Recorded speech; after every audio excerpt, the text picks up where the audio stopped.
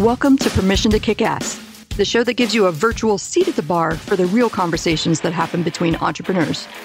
I'm interviewing all kinds of business owners, from those just a few years into freelancing to CEOs helming nine figure companies. If you've ever worried that everyone else just seems to get it and you're missing something or messing things up, this show is for you. I'm your host, Angie Colee, and let's get to it. Hey, and welcome back to Permission to Kick Ass. With me today is my good friend Inda Ndungu. Say hi. Hi, Angie. Well, that was a very good trial of my name. I mean, and, and, I understand because, you know, phonetically, someone once asked, Oh, can you spell it phonetically? And I'm like, I don't know how.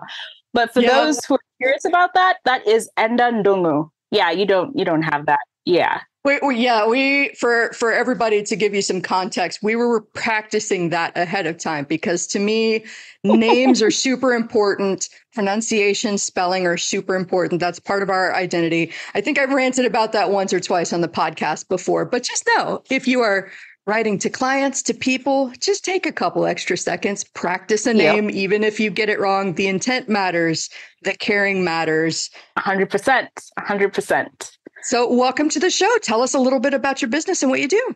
Oh, great. So, I am a marketer and a copywriter, and I enjoy helping brands amplify their voices, you know, getting people to know about them.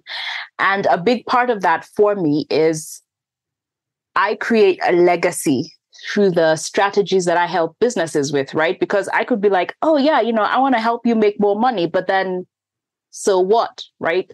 So I kind of come from the angle of I want to help you make a legacy because legacies are important. Mm-hmm. I like that. I think it goes so much more deep than just make a boatload of sales, right? Right. And this is going to sound a little bit dismissive, but anybody can make a boatload of sales. That doesn't mean that you're going to make people happy. That doesn't mean, yes. that mean that you're going to make an impact on the world. And frankly, I think a focus on sales to the detriment of the entire overall experience is just yes incredibly short-sighted right? It, it shows that you only care about the dollars and not the people. And frankly we're going to get like high level philosophical first thing in the morning for me. Well it's evening for you but it's morning for me. Uh right. you can't take it with you. Exactly Exactly. You can't take it with you at the end of your yes. life. You can't. I mean, I guess you could like build a pyramid and be buried with all of your wealth, but like at the end of at the end of my life, at least, I want to know that the work I did mattered, that the friendships that I had were important, that I made some yeah. sort of impact on the world. And not everybody thinks like I do, but but that's okay. I mean, if you're listening to the show and you don't care about impact, what are you even doing here? right? That's what we rant about here. Permission yeah. to kick ass, not permission yeah. to make money. Um, yeah. Anyway, sorry, side tangent. So, how did you get into this line of work? Like, what led you here? Oh, wow. That's wow. Okay, so I'll start at the beginning. yes, I was a long time ago. I was born. yeah.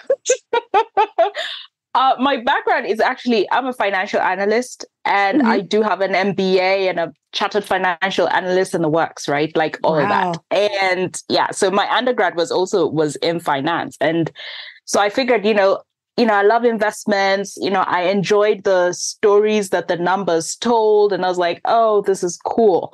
Um about 8 years or so in, I was like, "Well, I don't know. You know, I you know, there are parts of my job like really drive me nuts. Like I'm like, mm. Mm, I don't want to do this, you know, like this is killing me. And then there are other parts of my job that are like interesting and I love and everything, right? But you know, I was kind of brought up with the mentality that success is, you know, going to school, get your degree, get a job, right? Mm-hmm. And, you know, despite the whole, you know, my soul kind of wondering what's up, you know, like this doesn't feel entirely right.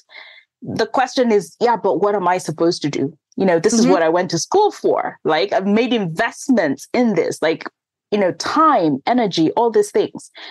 Um and so i kind of just kept on you know trying to go on holding on and you know trying to make it work until then you know my health started failing right? So mm. suddenly i have you know i'm going to the doctors my doctor is like, well, you know, we did a workup and there's nothing wrong with you, like physically. So uh, at this point, I'm like, you know, and I remember vividly what I used to get was really bad migraines, right? I'd have very bad migraines. And I was like, well, you know, I'm sleeping enough, I'm trying to eat healthy, blah, blah, blah, the works. Mm-hmm. And, you know, you have doctors telling you, different doctors, uh, someone tells you, oh, um, well, you know, you're female, so migraines are normal. And I'm like, no, they're not. Like, what is wrong with you? No, they're not, right? That's fuck you squared minimize all my problems to you're a woman without investigating further. Anyway, continue. Right. And and I'm thinking, no, they're not. So anyway, I started doing my own research and kind of trying to listen to podcasts and and I realized that, you know, your body tells you stuff, right? Mm-hmm. Like where you pain and all these things, you know, your body will communicate to you and tell you, hey, this is too much for me, it's not working, blah, blah, blah. And at some point, I, ha- I literally had to force um, CT scans and tell the doctor, no, you need to put in CT scans because I need to know for a fact that there isn't a physical reason why I'm getting this really bad migraines. Mm-hmm. And so they did, and nothing is found. And I'm like, what? And so the next step is to go to a neurologist. And I'm thinking, I don't know what mm-hmm. this, this, this doesn't make sense. And uh, lucky enough, you know, I come across this ENT specialist because I'd been told, oh, you have a sinus infection. And I'm like, first of all, I don't feel stuffy. So I don't understand where you're getting that from, but okay, cool. Mm-hmm. And she looks at my charts and she's like, well, you don't need to go to a neurologist. The thing you need to do is, I'm going to give you some meds, but mostly vitamins, right? And that was vitamin B, which for me was like, wait, what? Like simple mm-hmm. vitamins? Okay, cool. And so she gave me that and I started taking them. And within a couple of weeks, my migraines kind of disappeared. So, what I did not know at the time was that vitamin B helps with stress, mm. right? So, if you're mm. under acute stress, it helps with that, right? But then at, at the same time, this was just a band aid, right? Like, I haven't dealt with the real reason that I'm mm-hmm. having this, mm-hmm. right?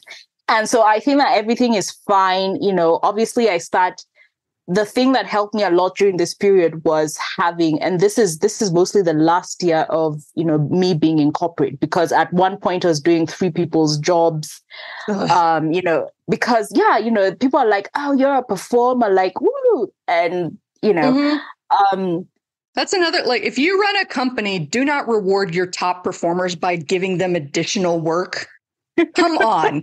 what kind of lame ass reward system is that? That's how you burn your people out. Right. Don't do right. it. Don't do it. So, and right. I, I, I love that you actually brought that up because I think this is the first time that we're really talking about this on the show that the body sends clues, the body sends signals. Yes. Um, yes. I had migraines in grad school. they came on right. very, very suddenly. And it was a similar thing that, like, after it was months of keeping a journal of what I did every day, the timing, uh-huh. what I mm-hmm. ate, all of that stuff. Because uh-huh. uh, uh-huh. same thing, the test came back inconclusive. There's nothing wrong with you, but I persisted. We kept yeah. this journal and basically discovered that at the root of my migraines was poor nutrition, right? Because mm-hmm. Grad school student living on ramen noodles yep. and peanut butter right. jelly. Uh, high stress mm-hmm. and poor sleep. Mm-hmm. And so when I could get better nutrition, get better sleep, and reduce my stress by whatever means possible, the the headaches went away right? Yeah. So it's not it's not and this isn't a medical show, right? It's not always about uh, medicine. Sometimes mm-hmm. it's about making a change in your life that facilitates your health, and the body is sending a clue that something is not yes. right here, something is not good for you here. Yes. Yes. Um, and I remember at the time, you know, one of the things was on this, because um, you know how doctors are. It's like, oh, here it's a pill it's a pain pill, mm. right? So, yeah, and, some can very much be pill pill focused, which sucks. right. Exactly. So, uh, and the one thing, you know, I, am a very curious person, which kind of lends itself to be a very good thing, mm-hmm. you know, mm-hmm. when it comes to marketing, because I'm very curious about the audience, right? And so, uh, the first thing I would do was kind of Google and look up the medication Mm-hmm. And I noticed that, you know, some of the best, you know, the medication that would work, the pills that would work were amphetamines. Like they had some amphetamines in them. So very addictive and all that stuff. And I was like, yeah, do I want to expose my body to this? Like, there has to be a better way because it's mm-hmm. fine. Mm-hmm. You'll take the pill, you'll feel so much better within a short time, but you've kind of not dealt with the root cause of, you know, whatever, right? So, anyway, back to the office. I think, you know, things are okay. I'm not, you know, the migraines aren't as often and, you know, things are improving and that's fine. And I try to put in boundaries. I start pushing back a lot more like, no, I'm not doing that. I'm not available for that, blah, blah, blah. And so one day on a random sunny afternoon, you know, I just had my lunch and out of nowhere, you know, I, I get this headache, right? And I'm thinking, well, this kind of sounds like, you know, my regular, it's probably just a migraine. Okay. Um, maybe I'm just stressed. Okay. Let me just, let me just write it out, right? Like I don't even need the meds. Let me just write it out. Mm-hmm. And then it's going nowhere. And I'm thinking, well, I've eaten, you know, I slept kind of okay. Like, I don't understand what's happening. And so at the office, we had this kind of receptionist who kind of had like a few fast aid kind of things. And she has, you know, the pills, painkillers, right? And she gives me one and I take it and she says, oh, don't leave, you know, first sit down. You know, she was also like the clinician, right? Mm-hmm. So first sit down. Let's let's kind of see, you know, how you're reacting to this. And I'm thinking at the time, this is unnecessary. I can go back to my desk. It's not a big deal. Whatever. Um, in a few minutes, you know, I kind of throw up, you know, I'm nauseous and I throw up. And she's like, and I see her reaction to that because in my head, I'm thinking, you know, maybe I should just go home. Maybe I should just take the rest of the day off. Let me just go home. And she's like, actually, no. Um, we I need to call the ambulance. and I'm mm. like, what? Hmm. I have never been in an ambulance my entire life. I have never had to go to the ER my entire life, you know? Mm-hmm. And I'm thinking, what do you mean? it's not that simple. Like, I don't, what do you mean? So before I know it, I can't remember the passwords to like my computer and stuff. Like, you know, I feel like I'm having a stroke. Ooh. And I'm like, is this how it feels to have a stroke? Like, I know it's not a stroke, but it feels like that because I can't like even think, I can't talk, you know, like everything's mm-hmm. just jumbled up.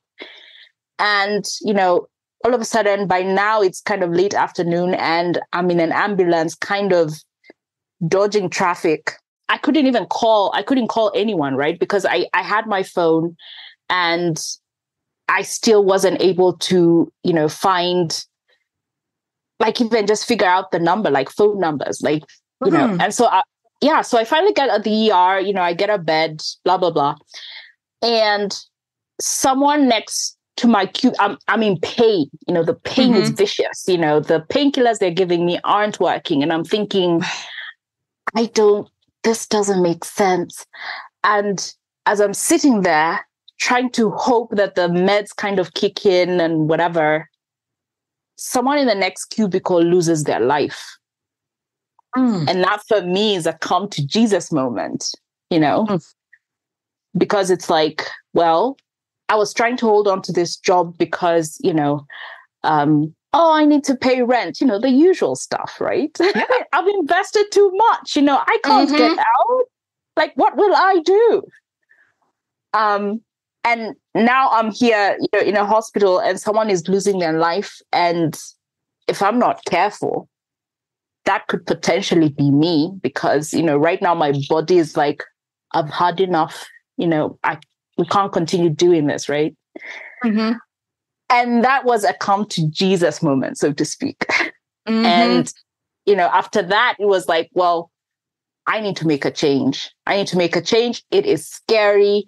It probably will not make sense to other people, right? You know, to mm-hmm. your loved ones or whatever. It will not make sense. But at this point, you need to figure out what not only helps other folks, but also works for you, right? Yes. How can you use your skills and talent without necessarily driving yourself to the grave? And I think that's, you know, that's a lesson even for most entrepreneurs, right? Because mm-hmm. it's so mm-hmm. easy to kind of get caught up in the vision and kind of forget that, hey, you know, your vision is only as good as what I'd call the vessel. You know, if you're gone, then the vision yeah. doesn't get done. Yeah. So Exactly. I mean, it, to boil it down, you basically have to take care of yourself because you are the person yep. that is holding the vision for your business. And I actually like I've been writing down notes this entire time because I, I, think that this is is fascinating. And thank goodness you are still here, right? That that yep. you listen to that and that that receptionist was there and looking out for you that day. I'm I'm so glad all of that happened and that we we got to know each other as a result. Um, it, it's interesting to me how often and you know you're in kenya i'm here in the united states and we still get that same message of here are the steps. These are the things that you need to do in order to get to success in order to get to happiness. And i don't know if it's capitalism i don't know if it's i think it's well intentioned right that we want to help other people get to happiness and maybe a couple of people along the way followed this particular process and started prescribing it to other people but like I'm glad we're in an era now where more people have a voice and we can start to say, this didn't work for me. I mean, I, am glad that following all of those steps led to happiness and fulfillment for you, but that is that is not for me. And that we're starting to liberate ourselves from that narrative, from that belief. Do I think it works for some people? Sure, absolutely. Yeah. Uh, do I think that? But I don't like to use the word traditional because that implies that there's like a system that works for the majority of people. I just I think we're right. starting to understand that there's a lot of different ways to find success, to find fulfillment, to find happiness. Yeah. And I for one am super glad that this old adage of hustling and grinding and living uh-uh. in your uh-uh. car in the parking lot to build the dream is slowly dying. I wish it would die a little bit faster. Uh, but you know, I'm I'm pro hustle. Don't get me wrong. When starting a business, there is absolutely a time to burn the candle at both ends, to work really hard to get this thing off the ground. Sometimes you're the only one that can carry that and to do that work, but it can't be 24 7 because otherwise you have a major health issue like this and you can't continue. I am pro hustle.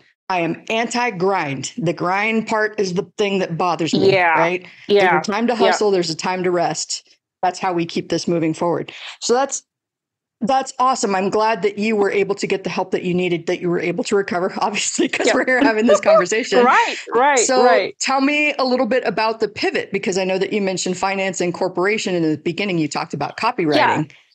What was the connection yeah. there? yeah. So the pivot, the pivot was the number one thing I was very clear about was I needed something that, you know, I needed to be in charge of my own schedule right? Mm-hmm. And I realized that my calling was not going to be found in a place where you know I was just another cog in the machine, right? Like mm-hmm.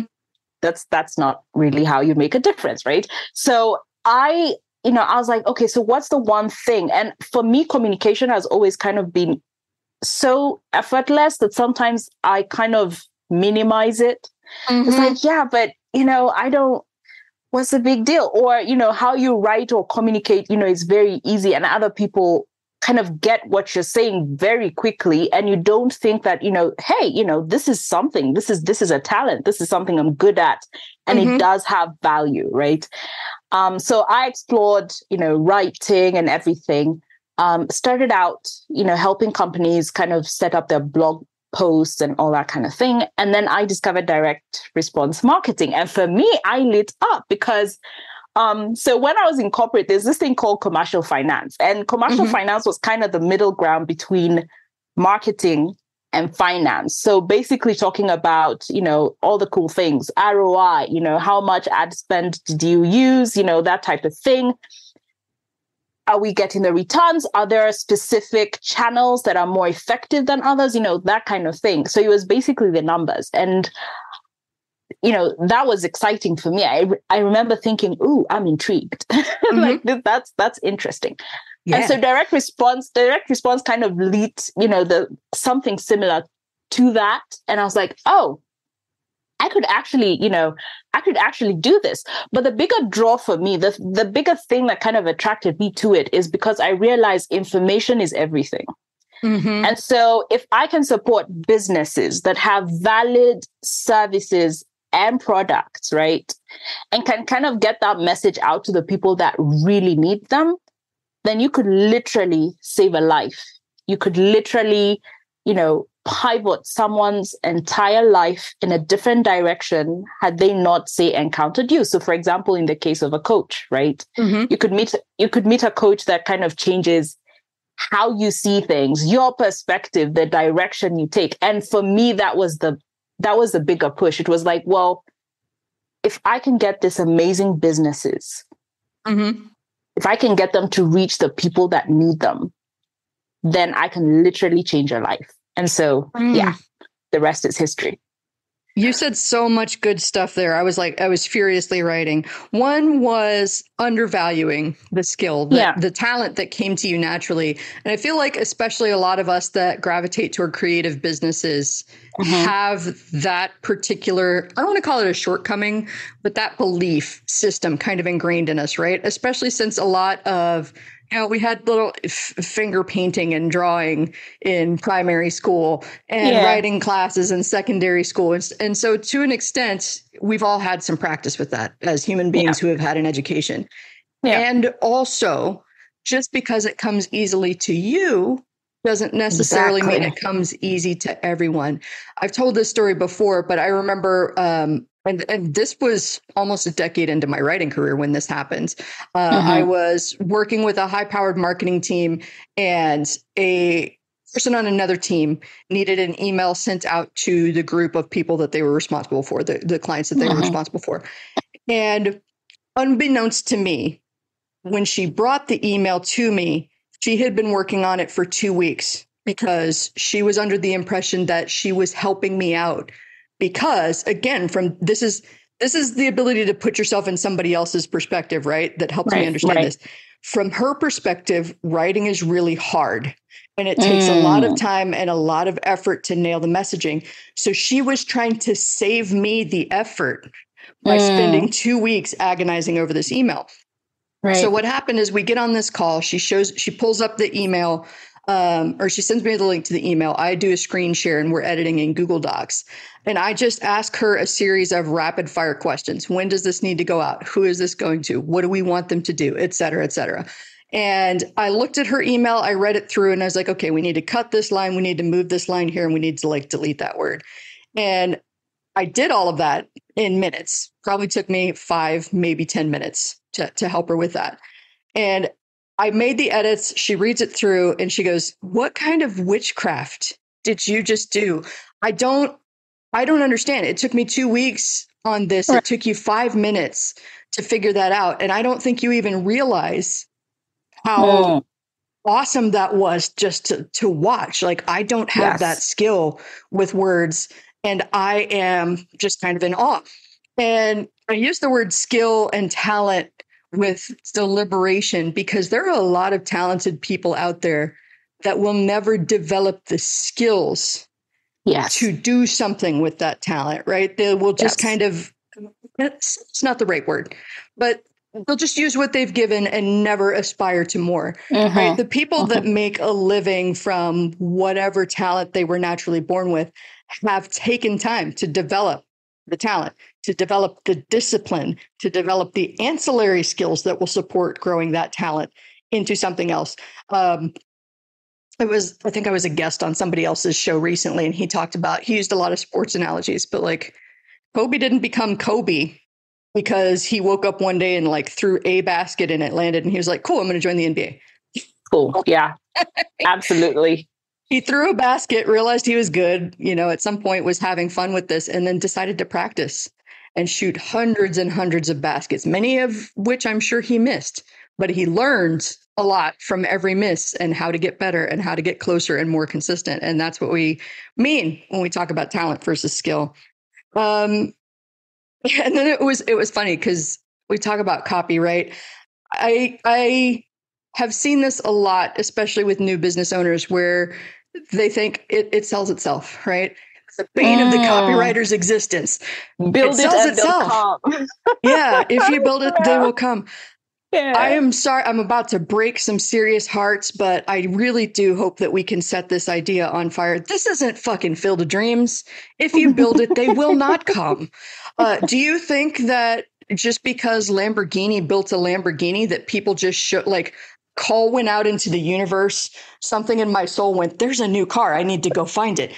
No. Right. you have to tell people about what you've built yeah. and why it's awesome. And you have to yeah. constantly be willing to do this, not just once, it's ongoing. This is part of what you have to do in business, uh, especially now with as much noise and competition as, as there is. And if that's something you're uncomfortable doing, then great. You hire a copywriter, you hire a marketer like Enda, like I used to, to do to help people get the word out there. And sometimes that can even benefit you because people can talk about you better than you can talk about yourself sometimes. They see the things that you can't see because, as my friend Chris Orzechowski is fond of saying, you can't see the label when you're stuck inside the bottle. 100%. So, yeah. I love and, that. And, and, and I will just let, you know, business owners know even as marketers, like, you know, if you tell me, oh, write an about me page about myself, I'll struggle because mm-hmm. it's like, what the heck am I supposed to say? But someone else does it and it's like, ooh, I sound so cool, right? And oh, yeah. I still, you know, I have the skill. So it, it well, you know, what you said is this is why I get so frustrated with people who make like asinine observations based on their own personal opinion and nothing else. So, like, well, how how can you call yourself a copywriter when your website t- looks like hot garbage? Because because like a lot of human beings on planet right. Earth, yes. I suck at writing about myself. And that's yes. not that's not a reality that I want to perpetuate. So I'll, I'll, change I suck at writing about myself to I have historically struggled with writing about myself, right? I want to change that narrative for myself. But it's hard, especially especially growing up in the southern United States as a woman, when I was always given conflicting messages about you're too much, you're not enough, you're you're right. unprofessional. Like I can I relate. don't know yep. what it is that people find special about me, so I need that perspective. And I find myself like I've mentioned synchronicity on this show a lot, but the thing that seems to be coming up lately, like this week, is what I call a loving mirror. And I know you and I have talked about this mm, this privately. Mm. Uh, yeah. And maybe you can share your experience with it too. But I, I recently had somebody, I went through a course to learn how to do a something called a pre-launch. And I had right. somebody who was well meaning go, weren't you like the queen of launches? You ran Jeff Walker's team for four years. Why mm. would you go to somebody for training? And I said, it's not that she's teaching me something that I don't know. Uh-huh. Uh-huh. She gave me some insights and some new ways to think about things that I knew. And she was an unbiased, unwarped mirror that could reflect the truth back at me. That's yeah. what I was really interested in surrounding myself with someone that can reflect the truth. Right. Rather than the warped distortions that I see. So, like, I mean, all of this seems like unrelated ranting, but I promise for those of you listening that, that there's a point. And that is when you're providing a service to somebody, you get to bring that outside perspective of, why they're awesome, of what is really cool, stuff that they may not see because they're too close to it. Um, and I think that that brings a whole lot of joy to me in the work, at least. It does. It does. Um, you know, one of the things that, you know, I've had to kind of push back. So one of the challenges that I've experienced, right? So I'm not in the US, obviously. And, mm-hmm. you know, people will kind of look at me and kind of make judgments. And they're like, well, you know, you're not in my market. I mean, how can you help me? Or do you even speak English? Do you have internet? Yeah but now i kind of have fun with it. Um so it's it's it's it's one of the things that you know people just don't get. They're like yeah but how how can you help me if you're not in the same country and i say well that's actually an advantage right? Okay so mm-hmm. first of all as human beings we kind of crave more or less the same things yes. right like we're, we're not different. We might be different on the outside but we all bleed red right? Like yes. you know unless of course you're from space alien or something, right? but, but, we all bleed red. And so um and we all have the same basic needs. Exactly. Food, exactly. shelter, support systems. Like yes. Yeah. So so because of this, it means that your audience has, you know, this particular desire and and also you have the added advantage of me not being you know in the cocoon you know just like you said you know it's easier to read the label when you're kind of outside the bottle, right? Mm-hmm. And, and that's an advantage. It's not a disadvantage, right? So it's it's one of the things that you know I've had to convince people and tell them, well, actually, this is a good thing. This is mm-hmm. not a bad thing. It's a good thing, and I kind of bring a fresh perspective. Like, oh, have you thought about this angle?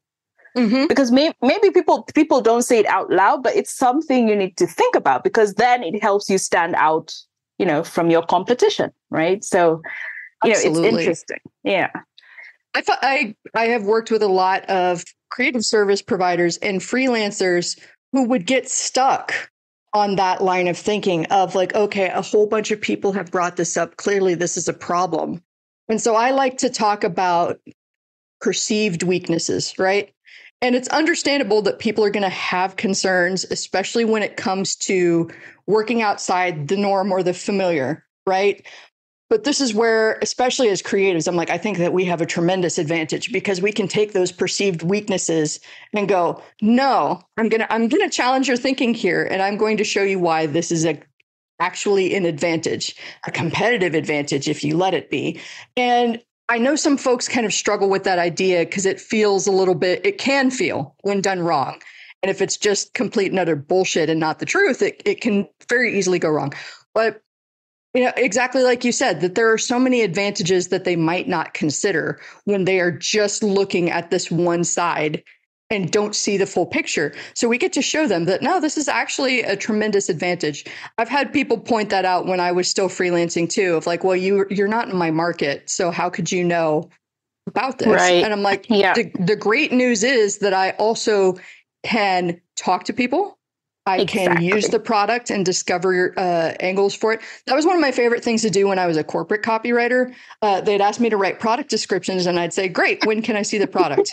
And some of them right. would be like, "No, like here's the description from the manufacturer in China," and I would be like, no. "I would like to play with the thing," mm-hmm. because oftentimes, like the manufacturers, the creators, they're writing about it, thinking about what makes it really cool isn't necessarily the thing that's on their mind. They've got a million other things that they're trying to do manage the production, get the shipping, get the pricing right. Like there's a whole bunch of other stuff for them to, to manage. And the writing of the product description was the last thing on their list. And let me tell you what I often saw in corporate, in retail, was frankly hot fucking garbage. I mean, who buys a chair because of the dimensions. Nobody like right. The dimensions are ancillary and they they matter to a point. But if I don't like the material, if I don't like the look, mm, if I don't like mm, the functionality of this thing, mm. dimensions don't fucking matter. But there would be so mm. many people that are like, yeah, this is uh, you know, durable construction. So I would have to go play with things and they would miss obvious stuff. Like I remember there was a, a garden cart. This was like a home supply yeah, uh, center. Yeah. And I got a chance to go play with it, and I realized that it was collapsible. Like it was Ooh, heavy duty, but it was collapsible deal. and it rolled yes. and it folded really super flat, which was nice. And I was like, wow. Nowhere That's... in the description provided by the manufacturer does it say this. Yeah. And the outside perspective to bring it full circle is what yes. allowed us to feature that as something that stood out from all of the other garden carts that they could have bought. It was not mm. only decorative, built to mm-hmm. be outside. I think it was made of cast aluminum, which is really mm-hmm. heavy duty and will yep. be blown away. And it was collapsible. Like I get to find those cool things because I played with it, because I brought in that outside perspective. And if I just took it at face value that like the manufacturer knows best because they built it, mm, mm. well, then everybody suffers because the they built it for the people that would use it, and they somebody along the way thought that that was really cool and worth making the person on the other end that would really enjoy that and get some utility out of that doesn't even know it exists because nobody's communicated it to them. So that's why I love this bit. Like we all bring such interesting new perspective to a situation that I'm going to challenge you if you're listening, if you're looking at somebody and going, there's no way you can understand me. They might, they might understand you a little bit better than you think. Mm-hmm. Take a chance. Take a chance. Mm so as entrepreneurs you know um, you know just you know I, would mentioned that one challenge right? And as entrepreneurs sometimes you know another challenge that you know I, I came across when you know i was kind of pivoting was people not getting it right? Mm-hmm. like you know they're like well why do you feel that you need to start a business to help this group of people? Like what is mm-hmm. the big deal? Right? Like and and i've actually had this question asked you're wasting your education you have a freaking MBA. Like, what? How can you? Well, because technically, it's a, it's a waste to start a business when you have an MBA. Do you guys hear yourselves? Anyway, sorry, continue. right, because it's not in an office with four walls and you know, blah blah blah, and we don't understand what you're talking about. But anyway, um, and so so one of the things, one of the challenges was, you know, people just not getting it. A whole lot of you know zero support and people actually kind of trashing your vision and you know all mm. that hmm. stuff right and and that yeah. happens and i'm sure many entrepreneurs listening will be like well you know that sounds familiar and sometimes you know that does inject doubt you know because you're mm-hmm. thinking well maybe i shouldn't have gone down this road you know maybe yes. i shouldn't have done this oh my family's on my back. My wife doesn't agree. My husband thinks i should just you know stay in the safety zone and not go out. You know this is a big risk. You know what about our family? Like we've got bills to pay blah blah blah on and on mm-hmm. and on. Mm-hmm. and the one thing i learned was the vision wasn't given to them. It was given mm-hmm. to you. Yes. So it doesn't matter how you try and explain it to them they probably may never get it. Because mm-hmm. the vision was yeah, the vision was never customized for them. It was customized for you, right? Because mm-hmm. you're the you, you're the version of the you that gets to see this vision through. Ooh, that almost rhymed. oh, no. Oh. We'll, we'll, find a way to make it snappy because that sounds like something that should be on a mug.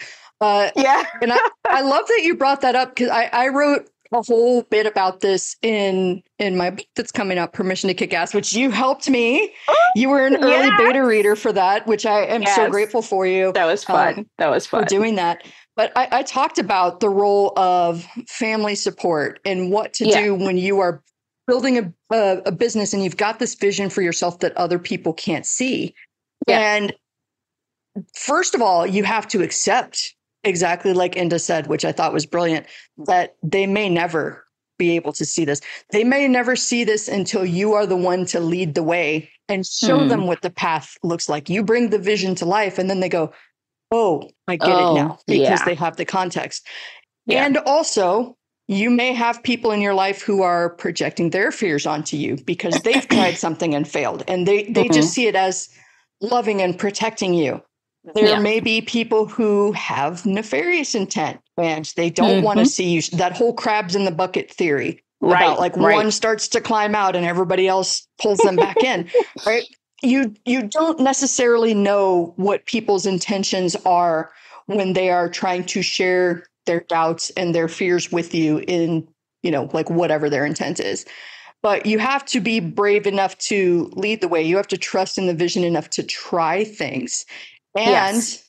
you have to be discerning about who gets to come with you. Right. Oh, that's a big one. That's a mm-hmm. big one. You know, it doesn't even matter if it, if it's your best friend, if it's your parents, if they can't see the vision and if they can't trust you to execute on it, maybe they don't get to hear about it. Maybe they don't get to participate in the discussions on that.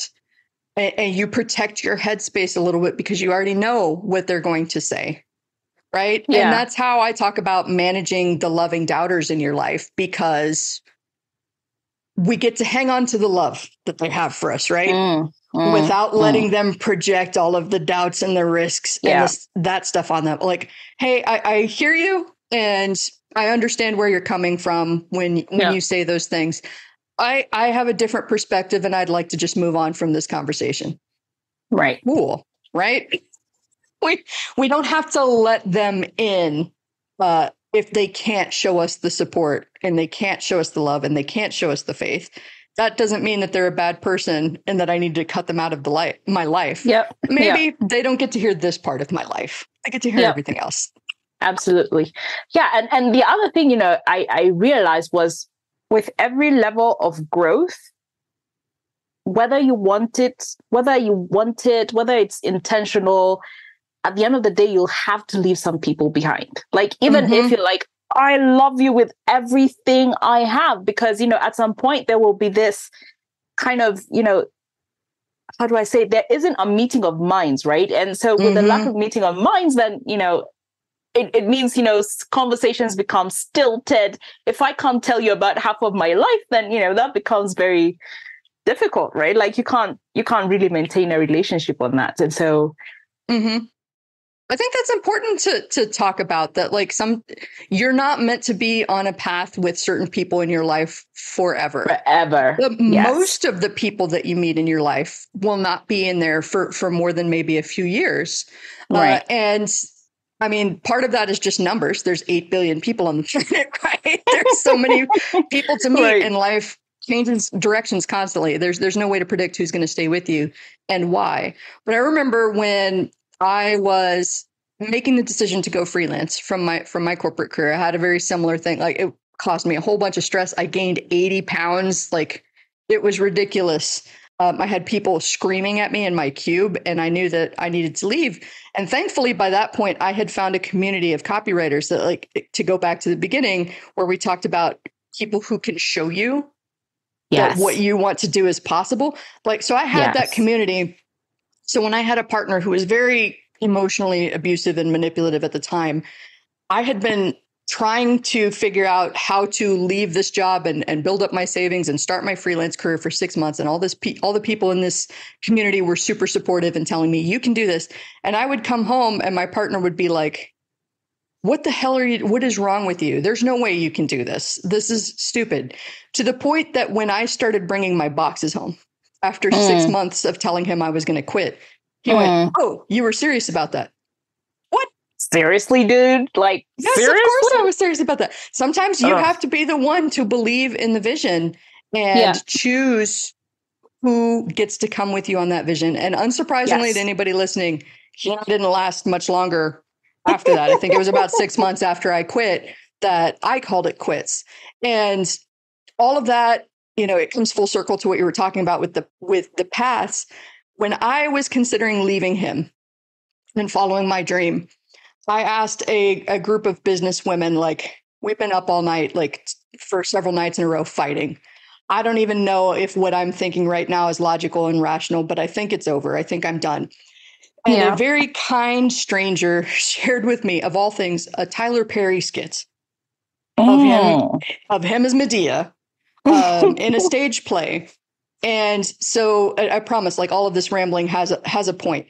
The analogy that he used touched my soul in a way that I instantly knew it was over and I need to go all in and bet on myself. Like this relationship is done. And right. the analogy that he used was the people in your life are parts of a tree, right? Mm-hmm. And the majority of them are going to be leaves. And I'll, I'll, make sure that this clip is included in the show notes so that everybody can watch mm. too, because the way he delivers it is just iconic. Um, right. But most of the people that come into your lives are leaves, right? the wind blows this way and they're over here. The wind blows that way and they're over there. They're not they are there to do nothing but be a leaf and throw shade. And that's okay. That's what they are. Other people in your life will be branches. They're a little bit more sturdy a little bit more solid but sometimes when you step out on that thing it can't support your weight and it breaks and that's it. Right right much more rare are going to be the people that are roots of the tree they go mm. deep they're harder um, to destroy. There are yeah. lots less of them than there are the leaves. But when you've got somebody who qualifies as a root who can support you from that depth, that's somebody to hold on to. Let go of the leaves, let go of the broken branches, right? And focus mm. on the roots because the roots are what will allow you to grow. I'm, I'm going to include that clip. But like once I watched that, I was like, this is a leaf. This is somebody who watched me go from homeless, living in Bay Area, San Francisco right. Bay Area, working up to an $80,000 a year corporate job that I mm. cobbled together out of fucking nothing mm. and still believed that I would fail at starting a business. You're going to have people like that in your life and you have to let them go. Yeah. I mean, if if you don't let them grow, if you don't let them go, then there's no growth.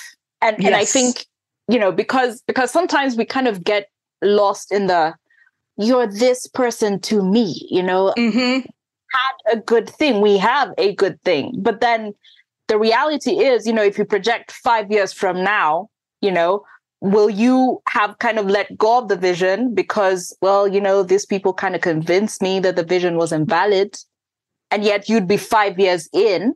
Or mm-hmm. would you rather just choose and, you know, do the thing, let them go? And then five years, you know, your vision, you know, has begun and it's kind of, you know, making progress, right? And I think a big lesson out of all of that was also we need to learn how to do the hard things, right? Mm-hmm. And the weird thing is, you know, in the moment, the hard things are really hard. You know, it kind of feels like you're gonna die. It kind of feels like, you know, you've lost a whole bunch of important organs and, you know, you're not getting yes. through this. But, but in the long term, you know, the very thing that was so difficult to do actually has the greatest ripple effect and usually is the thing that kind of propels you forward right so you know even if i look at you know some of the things that have happened so for example leaving that job that was a really hard thing because i had mm-hmm. I had zero support. I was not guessing. I knew it. I did not have any support. I did not know how I was going to pay my bills. And this is coming from someone who lives in a country. We do not have an employment.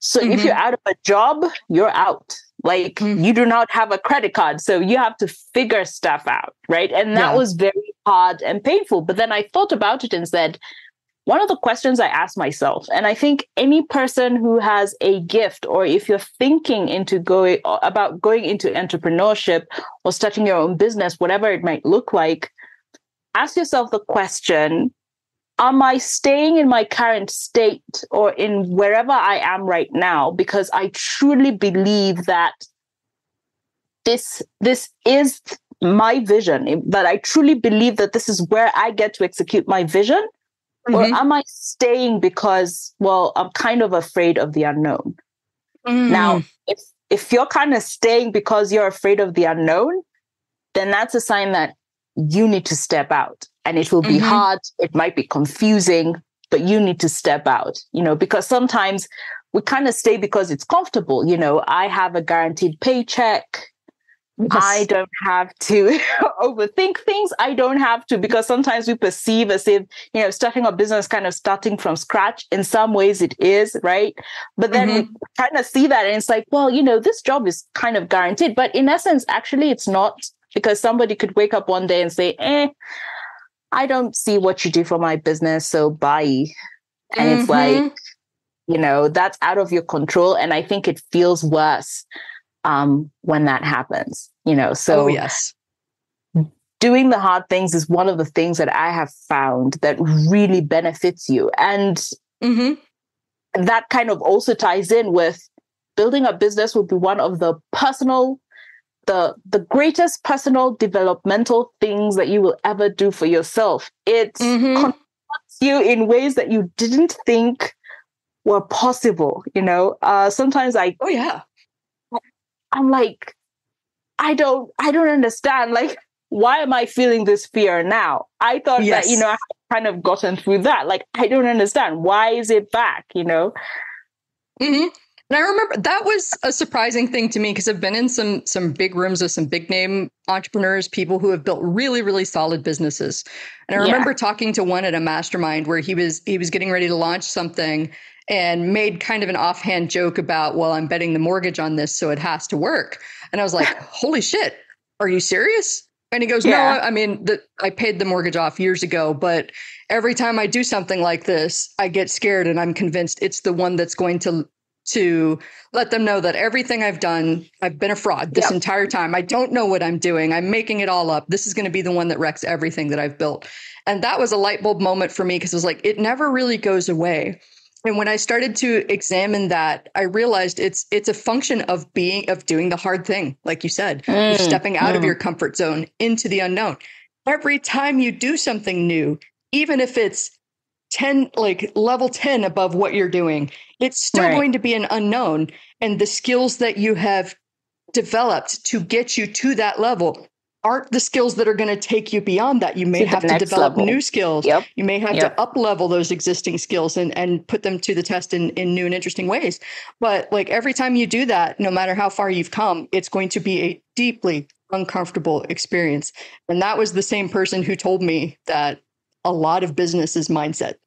Like even if you luck into a business, you inherit a business, you accidentally invent something on the fly one day and you go viral and now you've got a business that people want to buy stuff from you, uh, you're still going to have to develop the the mental fortitude, the ability to pivot and make decisions on the fly and develop those support systems and develop new offers. Like it's all going to be a learning experience no matter how you come at it. So love that. Well, this yep. has been a fascinating conversation. I could talk to you all day. I think we're just going to have to book a, a part two. we're going to have to do a follow up and talk about this a little bit more. Absolutely. Well, tell us a little bit more about where we can learn about you and how people can work with you. Oh, okay, great. So you can go to my website, www.theoakpen, one word, com and you will see you know how i work with people you will also see an intake form if you're interested you know some of the questions that i ask so that you kind of understand where i'm coming from um, and yeah i think that that's the quick i'm also on facebook and linkedin with my name so Enda Ndungu, even though it's kind of hard to say, but you will know it's me. Um, and yeah, I can. I'll have clickable to... links in the show notes so that everybody can follow that. Um, yes, absolutely. And I didn't, I didn't set out to say this, but for for longtime listeners of the show, you may recognize Enda's name because when we did that two-parter best of episode 100 and 109 Enda was critical behind the scenes as another longtime fan of the show in helping me pull those best of clips. She listened to every single minute of every single episode and showed me all of the brilliance of all of the guests, which I, I already knew that they were all brilliant. But that just goes to show you how brilliant and insightful Enda is with, and the passion that she brings to everything she did. Like, I would have made I would have made the first best of clip like three hours and 58 minutes, no lie. So yeah, I, I did I did have to tell her nope. Mm-mm, yeah. Let's try. Let's, she, no. had to crack, she had to crack down on me and be like, no, you cannot make a four hour long episode. You have to cut it down. These are the best ones to use. So I loved working with Enda, and I think that uh, you would love working with Enda as well. Go check her out. Thank you so much for being on the show. It was a pleasure. It was a pleasure, Angie, as always. That's all for now. If you want to keep that kick ass energy high, please take a minute to share this episode with someone that might need a high octane dose of You Can Do It! Don't forget to rate, review, and subscribe to the Permission to Kick Ass podcast on Apple Podcasts, Spotify, and wherever you stream your podcasts. I'm your host, Angie Colee, and I'm here rooting for you. Thanks for listening, and let's go kick some ass.